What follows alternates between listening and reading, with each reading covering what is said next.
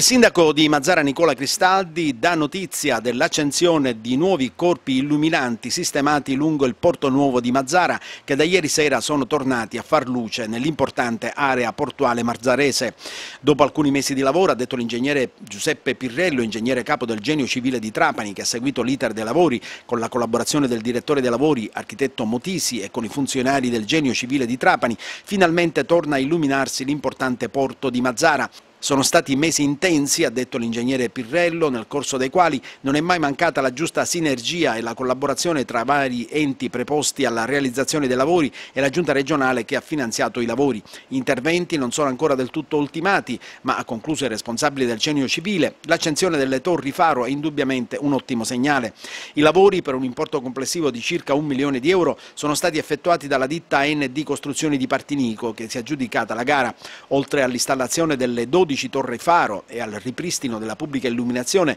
gli interventi prevedono inoltre la creazione di isole pedonali spartitraffico con parcheggi e arredi urbani. Inoltre è prevista la collocazione di alcune colonnine per la ricarica delle auto elettriche e la realizzazione di un impianto fotovoltaico da realizzare sul tetto del mercato ittico che permetterà di azzerare i costi dell'illuminazione notturna. Per garantire la sicurezza del porto è previsto anche un sistema di videosorveglianza con telecamere a raggi infrarossi che sarà collegato alle forze dell'ordine.